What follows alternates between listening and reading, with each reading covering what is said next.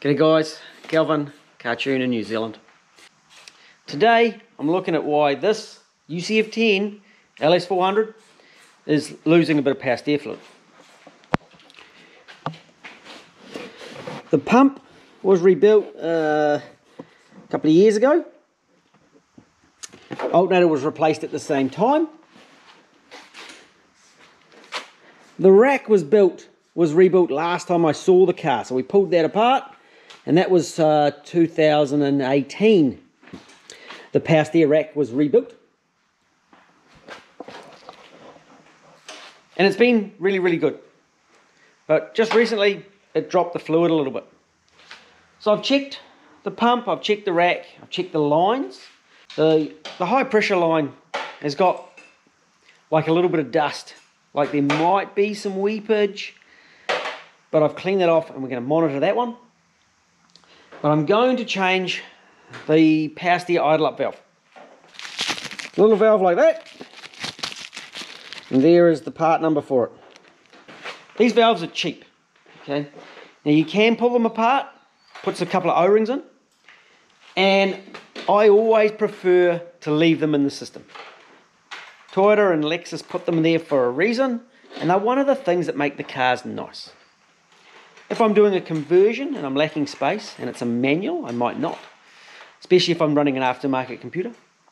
But an auto on a standard computer, I pretty much always try to run them whether it's a standard car or whether it's an engine swap. So it's located uh, there on the power steer pump. That is a Soarer one, okay? It's a Soarer pump. And they are located actually on a banjo fitting on the high pressure line on the Soarer pumps. So old Yellow got a pump on it? Old Yellow doesn't have a pump. Uh, we'll use Joey here. So this is where they're normally located.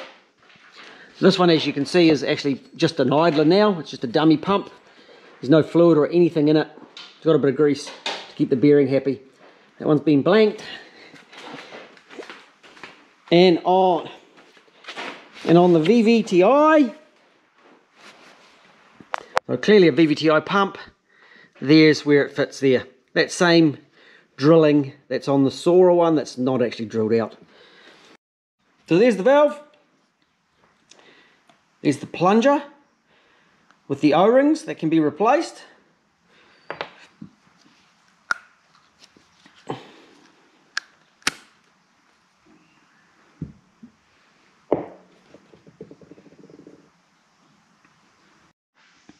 So how does it work?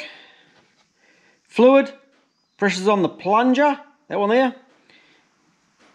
So high pressure fluid there. Pressure's on the plunger, hence it's got the seals coming up through this unit here. And then there's the little valve, which is actually located in here. So it pushes this little fella here. It's actually sore on my fingers. Pushes on this fella. Allowing a bypass of air through here and down here and out the other tube. Very, very simple. The air supply is, here's your intake going into the engine. So it needs to be monitored by the airflow meter. Out of this little tube, so please be careful not to break that little tube off. Rubber goes down there, comes back up and into the engine here. And into the engine there. You can see this one is split as well, so we're going to be replacing those hoses. And I'm just using a generic aftermarket quality hose, rubber hose. Right, let's get in. Let's get this valve changed. Get this car out of here. I'm removing this, I'm removing this. It's at the bottom of the pump. It's a little bit awkward to get to.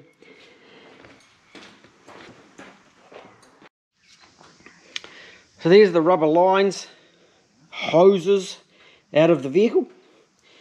Uh, it doesn't actually matter which way round they go, but the the back fitting on the valve goes to, to that one. So it doesn't matter, they, it'll work either way. See you later.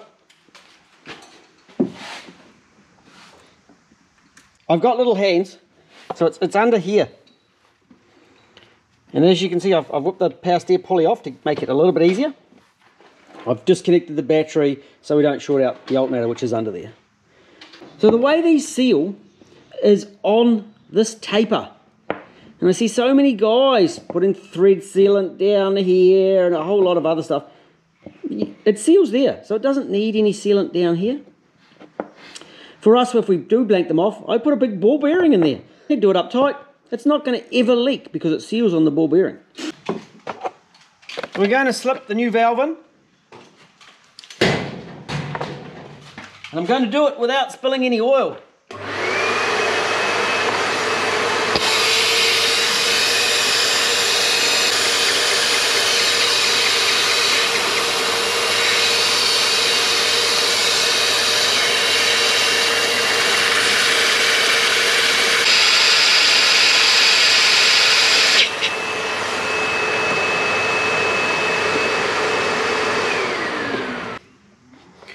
And if we slip this one apart,